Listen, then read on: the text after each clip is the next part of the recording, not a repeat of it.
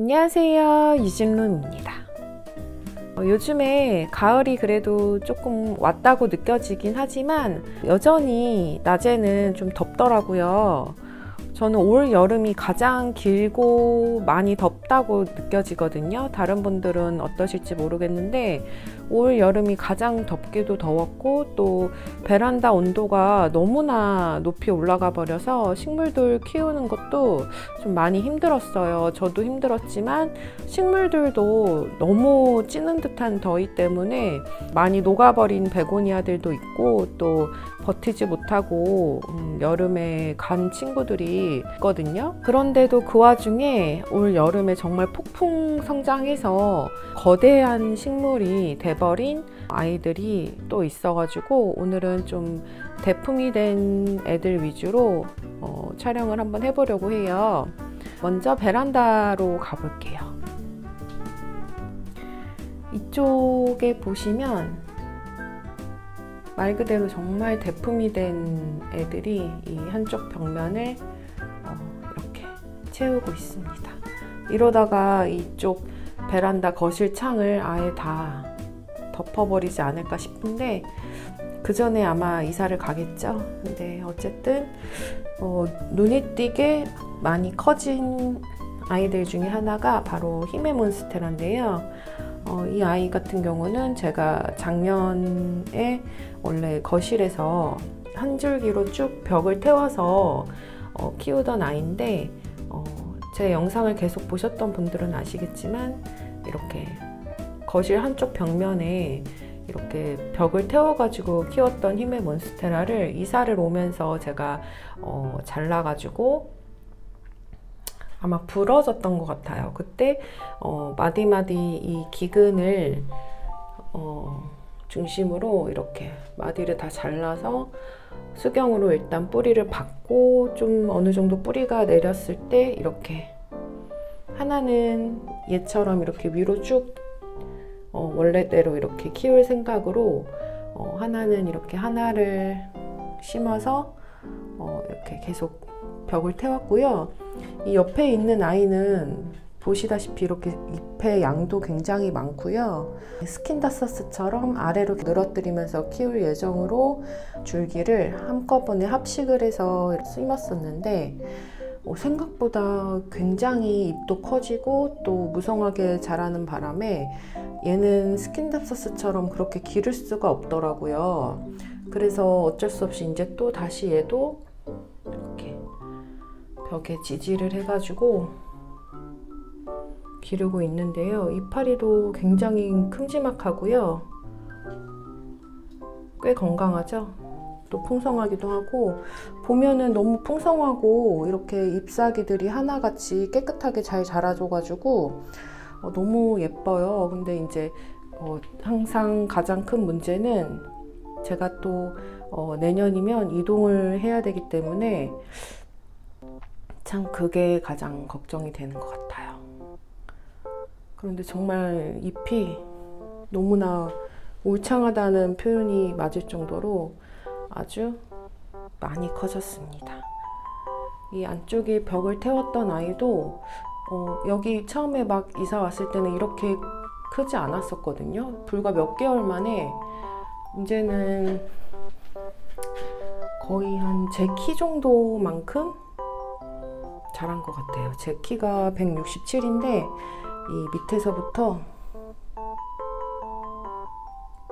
굉장히 길게 자라고 있고요. 또 한 가지 특징은 너무 날이 습해서 그랬었는지 이렇게 기근들 하나같이 아주 길게 늘어뜨리면서 울창하게 자라고 있습니다. 제가 최근에 이 아래쪽에 굉장히 작은 슬립분에서 이큰 어, 아이가 이렇게 대품이 된 아이가 굉장히 작은 슬립분에서 흙도 거의 없어가지고 뿌리만 남아 있더라고요. 그 아이를 어, 이렇게 분갈이를 해줬어요. 조금 더큰 어, 화분에 분갈이를 해줬고요. 또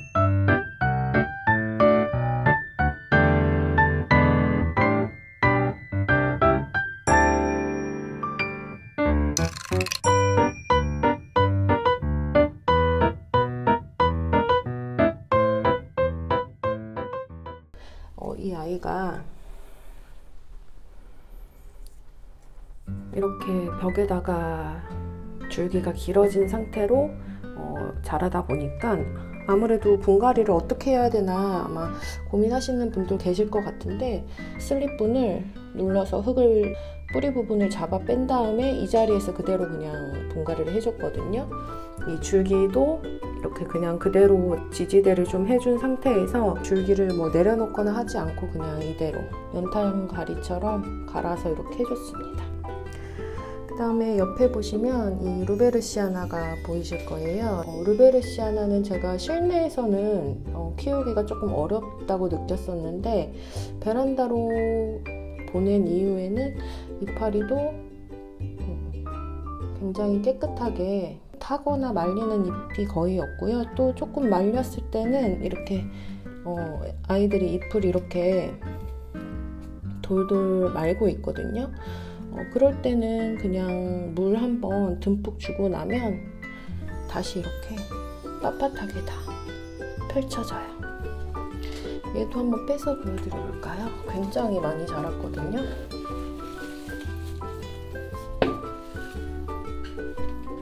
어때요? 너무너무 예쁘죠? 저는 이렇게 풍성하게 크게 키우는 거를 사실 좋아하기는 하는데 어, 이번 해에 정말 제가 원하는 모양대로 아주 풍성하고 정말 큼지막하게 이렇게 모양이 나왔어요. 그런데 얘도 지금 보시면 아래쪽에서 계속 새촉이 올라오고 뒤에서 보여드릴게요. 얘는 뒷모습은 지금 이런 모양인데 이런 새촉들이 계속해서 올라오면서 번식을 하고 있기 때문에 아직은 조금 더 이 분에서 살아도 될 거는 같아요. 왜냐면 어, 새순도 계속 나오고 있고 또 새순의 상태도 꽤 크고 괜찮아서 아직은 더 늘릴 필요는 없을 것 같아요. 그런데 이것보다 이제 더 커지게 되면 좀 분촉을 해서 어, 덩치를 조금은 줄여야 되지 않을까 생각이 듭니다. 근데 이제 너무 또 직광 앞에서는 잎이 탈 수가 있기 때문에 얘네들은 잎이 이렇게 얇아요. 이렇게 잎이 얇은 애들은 너무나 어, 빛을 강하게 받으면 잎이 타버릴 수가 있어가지고 딱 이 자리가 해가 적당히 어, 비치기 때문에 좋더라고요. 또 어, 저희 집이 어, 해가 들어올 때는 굉장히 내리 쬐는 빛이 들어와서 제가 이쪽 공간은 이렇게 얇은 커튼 하나를 달아줬기 때문에 어, 적당한 빛이 어, 들어오더라고요. 그래서 어, 이쪽 창가에서 조금 떨어진 반대편 창가에다 이렇게 키우고 있는데 너무너무 예쁘게 자라고 있습니다. 이파리도 아주 깨끗하고요. 너무너무 예쁘죠. 히메 몬스테라가 어, 정말 잘 크기도 한데 이렇게 잎이 깨끗하고 예뻐요. 그리고 옆에 보시면 저희 집 바로크 벤자민이고요. 어, 지금 두 개가 있는데 키가 꽤 많이 컸어요, 지금. 이 위쪽에는 이파리가 이제 막 나오려고 아주 조금 조그맣게 연두색으로 뾰족하게 이렇게 다 말고 있거든요. 얘네들이 이제 펴지면서 이파리가 되는 건데 바로코 벤자민은 잎벌곰이 굉장히 심한 아이여가지고 어, 한 번씩 잎을 떨구는 시기가 되면은 바닥이 많이 지저분해져요. 음, 근데 그게 뭐 큰 문제는 안 되니까 이 옆에 보시면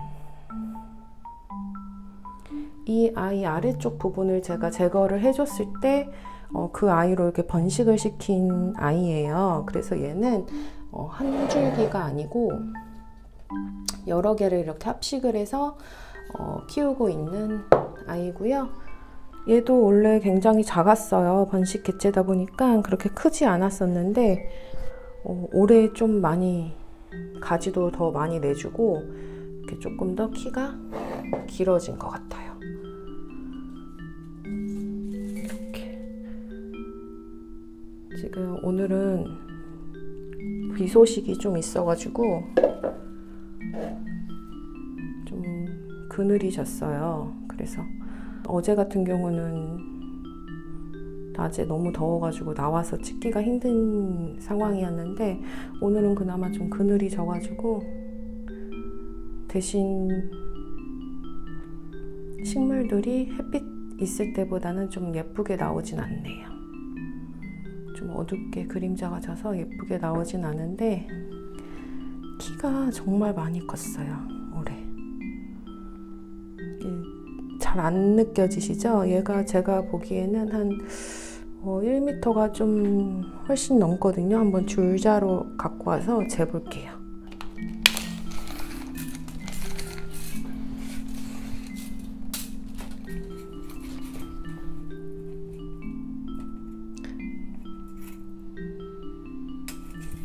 (1m 10이) 조금 안 되네요 한 105cm 정도 되는 것 같아요 꽤 많이 자랐고요 점점 나무가 되고 있습니다. 박질한 비프카텀이고요. 지금 어, 오래된 잎들은 하엽이 지려고 하고 있어요. 그런데 이파리도 굉장히 길어지고 또 여기 새로운 잎도 나오고 있습니다. 얘도 이제 많이 성장을 했는데 또 반가운 소식은 음, 이 모체에서 번식했던 이 아이가 따로 분촉을 제가 시켰었잖아요. 근데 한동안 어, 별다른 소식이 없다가 가운데 보시면 방패엽도 나왔고요. 또 새촉도 이렇게 올라오고 있습니다. 보이시죠? 아주 건강하게 번식이 잘 됐어요. 보시면 여기도 방패엽이 또 새로 올라오고 있고 정말 많이 자랐어요. 그래서 이 아이도 대품이 된 아이 중에 하나고요. 너무나 많아요 지금 이렇게 덩치가 커진 애들이 너무 많아서 지금 이 스킨답서스를 전부 이제 번식을 해가지고 합식을 한 번에 시켜놓은 아이인데요. 이 아이 같은 경우는 이 줄기 끝이 거의 이 5단 선반 밑에까지 거의 내려오는 상황이거든요. 여기 또 꼬였네요. 이파리들끼리. 어, 굉장히 길고요. 또 사실 이 화분이 너무 지금 좁은 상태여가지고 조금 더 큰 화분으로 옮겨줘서 좀 넉넉하게 심어주고는 싶은데 어, 일단 화분을 더 키워야 된다는 부담감도 있고 그래서 아직은 좀 미루고 있습니다. 그런데도 이 작은 화분에서 여러 개를 합식시켰는데도 아주 잘 자라주고 있어요. 사실 저는 얘를 어, 벽에다가 이 그냥 아무것도 없는 이런 벽에다가 어, 걸어가지고 키우고 싶었었는데 어쩌다 보니까 그냥 이렇게 선반 맨 위에다가 올려놓고 키우고 있습니다. 그 다음에 이 아이도 박질환이고 이 아이는 박질환 제가 이름 자꾸 까먹어서 여기다 이렇게 적어놨어요. 알시콘이고요. 얘도 지금 이렇게 밑에 내려놓고 보여드릴게요. 이쪽에 새로운 방패엽이 깨끗하게 아직도 갈색으로 변하기 전의 모습으로 깨끗한 상태고요. 여기 이렇게 새순이 꽤 많이 올라와가지고 이렇게 세 개는 새로 나온 잎인 것 같거든요. 근데 잎들이 지금 얘는 좀 잎이 꺾여가지고 한번 잘라주고는 싶은데 아직 잎이 색깔이 변하진 않아가지고 그냥 냅두고 있어요. 근데 새촉도 이렇게 올라오고 있고 여기 새순이 올라오고 새로운 잎도 두 개나 있고요. 굉장히 멋스럽게 잘 크고 있습니다. 이 방패엽이 시간이 지나면 갈색으로 이제 마른 잎으로 변하는데 어, 그런 변화 과정도 굉장히 어, 예쁜 것 같아요. 어, 호야도 많이 커가지고 줄기가 꽤 많이 길어졌어요. 보시면 이렇게 긴 길다란 줄기를 내줬고요. 어, 호야 같은 경우는 뭐 많이들 아시겠지만 어, 줄기가 길어졌다고 해서 잘라내면 꽃을 못 볼 수가 있기 때문에 어, 긴 줄기를 잘라내지 않고 계속 이렇게 어, 길게 늘어뜨리면서 기르셔야 돼요. 그래서 저도 호야의 줄기는 자르지 않고 너무 길어서 너무 늘어진다 싶으면 이렇게 어, 묶어서 좀 줄을 어, 감아서 이렇게 키우는 편이고요. 저희 집에서 한 5년은 된 것 같은데 5년 더 넘었을 수도 있어요. 그런데 아직 꽃은 한 번도 보여주지 않았고요. 올 겨울도 그냥 베란다에서 쭉 보낼 예정입니다. 어, 지금까지 저희 집에서 겨울에 베란다에서 계속 월동을 했던 친구라서 이번 해에도 그냥 베란다에서 웬만하면 그냥 보낼 거고요. 길게 줄기를 늘어뜨리, 늘어뜨리고 있어서 내년에는 좀 기대를 해볼까 생각해 봅니다. 음, 빼놓을 수 없는 아이 중에 하나죠. 어, 무늬 보스턴 고사리고요. 어, 본래 모체 크기만큼 굉장히 커졌어요. 이제 모체는 음, 제가 이번에 이사 오면서 삭발을 하는 바람에 어, 보냈고요. 이제 너무 과감하게 삭발을 해버렸더니 어, 돌이킬 수 없게 되더라고요. 그런데 어, 일부 분촉을 해가지고 번식을 시켰던 아이가 어, 몇 개월 만에 이렇게 정말 대품의 크기로 자라고 있어가지고 예쁘긴 한 것 같아요. 일단 무늬도 보시면 어, 굉장히 예쁘게 잘 내줬고요. 여기도 너무 예쁘죠. 이렇게 예쁜 무늬를 잘 유지를 해주고 있고 어쩔 때 보면 또 색이 어, 이렇게 빛바랜 어, 연두빛으로 바뀔 때가 있어요. 그럴 때는 물이 너무 부족해서 어, 그런 거라서 물을 한번 또 듬뿍 주고 나면 다시 또 이렇게 어, 신기하게 또 색깔이 무늬랑 색이 이렇게 진해지더라고요. 어, 어쩔 때는 제가 비료를 또 너무 물이 빠진 것 같다 싶으면 어, 비료를 조금 더 챙겨서 물을 비료물을 타서 주면은 또 다시 이렇게 진한 색감으로 바뀌어, 바뀌고요.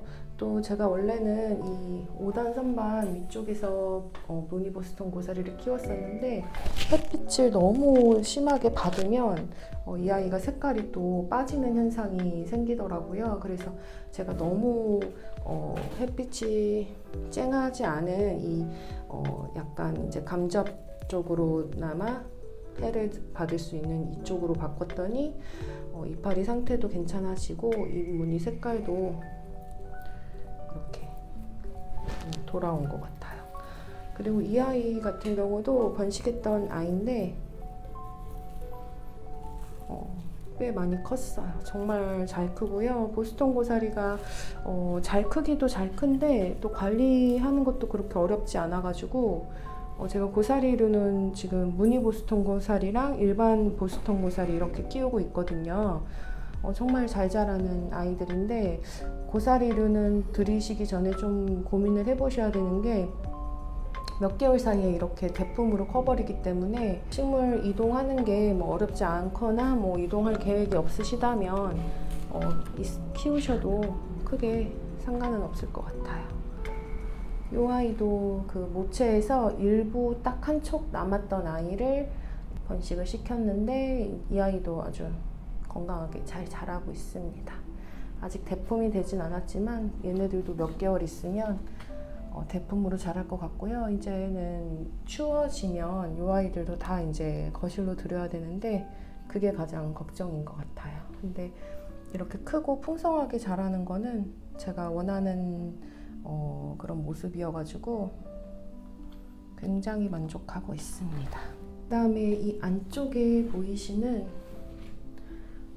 이 아이는 저희 집에서 굉장히 오래된 어, 돈나무라고도 하고 또 금전스라고 부르는 아이인데요. 정말 새촉이 올해 굉장히 많이 나오기도 했지만 정말 키가 너무 많이 컸어요. 얘도 한 1m는 좀 넘을 것 같거든요. 이 새로운 촉도 키가 굉장히 컸고 제가 한번 분갈이도 해줘가지고 분도 키워줬어요. 너무 어, 새순을 많이 내줘가지고 어, 꺼내기가 좀 무거워서 제가 그냥 이대로 찍으려고 하는데 잘 안 보이네요.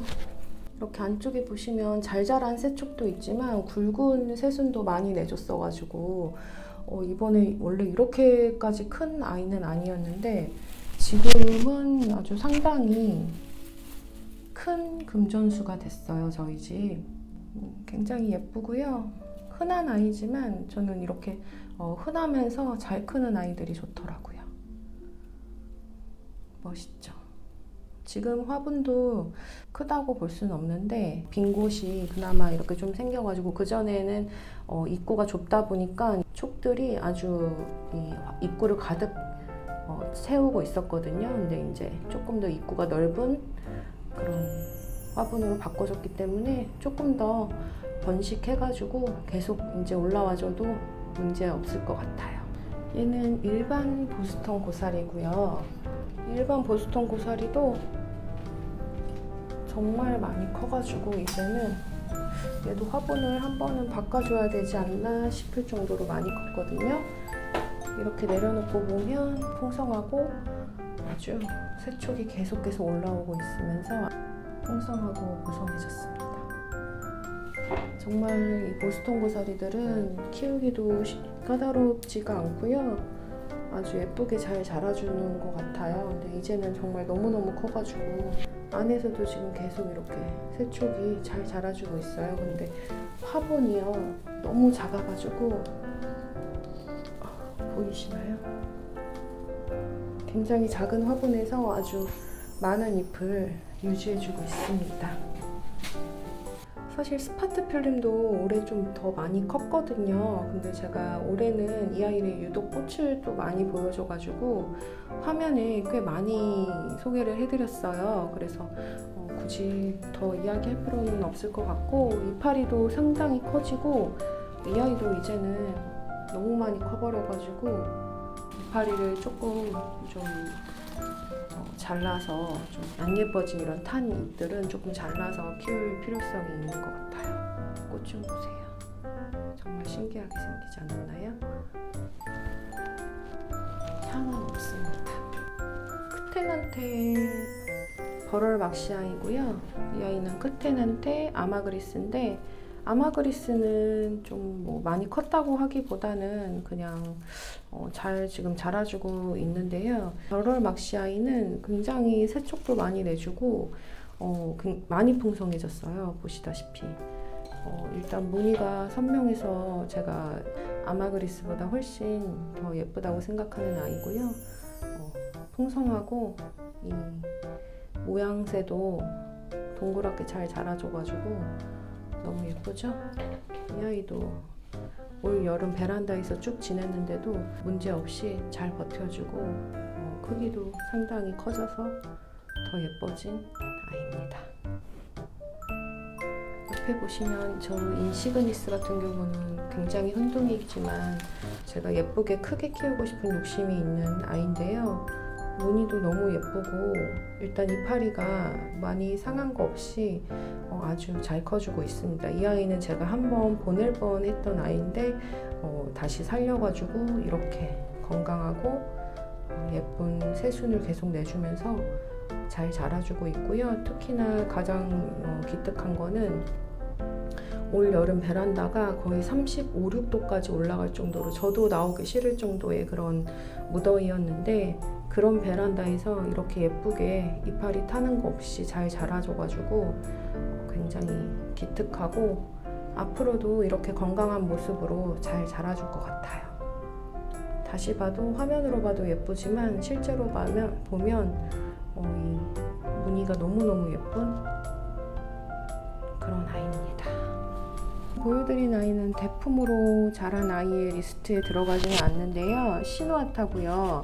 시누아타가 새촉은 안 내주고 나오려고 했던 새촉도 이렇게 끝털이가 마르면서 상태가 좀 이렇게 좋진 않았거든요. 또 응애도 달고 왔어가지고 이 아이한테 제가 응애를 없애기 위해서 좀 신경을 많이 썼던 아이예요. 지금은 이렇게 조금 조금씩 응애 흔적은 있지만 이파리가 많이 상하지 않고 멀쩡한 상태고요.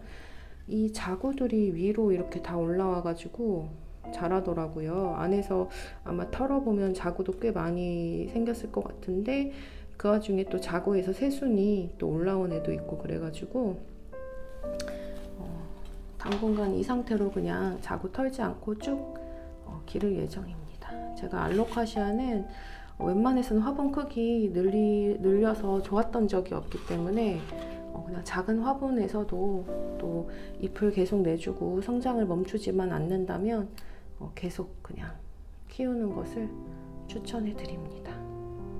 올해 이 알로카시아 자구들을 유묘들을 제가 어, 거실로 데리고 들어왔더라면 좋았을 텐데 거실에 뭐 마땅히 둘 곳도 없고 그냥 한번 버텨보라고 이렇게 베란다에다 그냥 뒀더니 사실 이 유묘들이 상태가 좋은 애들이 많이 남지 않았어요. 어, 일부 너무 상태 안 좋은 애들은 제가 어, 수경 재배로 전부 돌리기도 했고 음, 그래서 일부는 지금 거실에서 기르고 있지만 거, 이 베란다에서 버티고 있는 애들은 그닥 그렇게 상태가 좋다고 볼 수는 없어서 어, 조금 아쉽지만 이대로 해서 또 이제 날씨 좀 선선해져서 잘 자라면 또 잘 키우면 되고요. 이대로 또 이 중에서 못 크고 또 죽는 애들은 또 한바탕 정리를 해줘야 될 것 같아요. 어, 이 아이는 아레카 야자인데요. 이 아이도 저희 집 이사 와가지고 제가 좀 분을 큰 걸로 어, 바꿔주기도 했고요. 이 아이도 지금 새초 계속 잘 내주면서 거실에서 아주 어, 점점 어, 대품이 돼가고 있거든요. 이파리를 볼 때 얘가 이렇게 컸었나 할 정도로 어, 굉장히 시원스럽게 이렇게 잎을 내줬더라고요. 여기 이쪽도 마찬가지고. 너무 그래서 볼 때마다 예쁘다는 생각을 어, 하고 있고요. 꽤 많이 자랐어요. 이사 와가지고. 오늘은 저희 집에서 이제 올 여름에 대품이 돼버려서 너무나 많이 커버린 어, 그런 식물들 위주로 보여드렸는데 어, 어떠셨는지 모르겠네요. 좀 재밌게 봐주셨으면 좋겠고요. 오늘도 저희 집 식물 구경 함께 해주셔서 감사하고요. 공감되셨다면 구독, 좋아요로 응원해주세요. 항상 행복한 날들 가득 되시길 바라고요. 끝까지 시청해주셔서 감사합니다.